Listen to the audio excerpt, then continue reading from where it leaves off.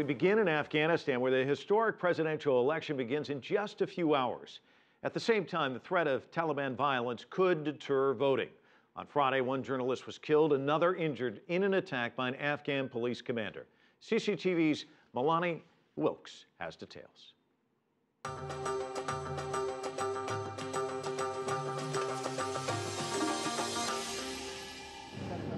It is the third deadly attack on journalists coming on the eve of Afghanistan's presidential elections. The two women worked for the Associated Press news agency and were riding in a convoy with election workers near the city of Khost.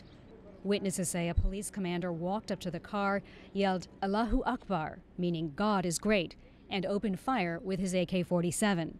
German photojournalist Anja Niedringhaus was killed instantly. Correspondent Kathy Gannon, seen on the left, is a Canadian citizen. She was wounded by the gunfire. For years, they've gone in and out of the country, telling the story of the people and the heartbreak and the combat of that country. So it is with bitter irony that we learn they were attacked there today.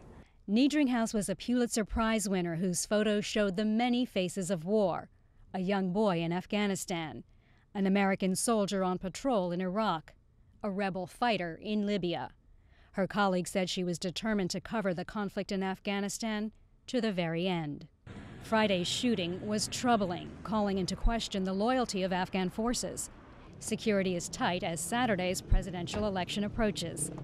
Ballot boxes are on the way to polling stations strapped to the backs of donkeys to be carried to the most remote of regions, while Afghan commanders continue to insist they can handle the Taliban's threat to disrupt the voting with violence.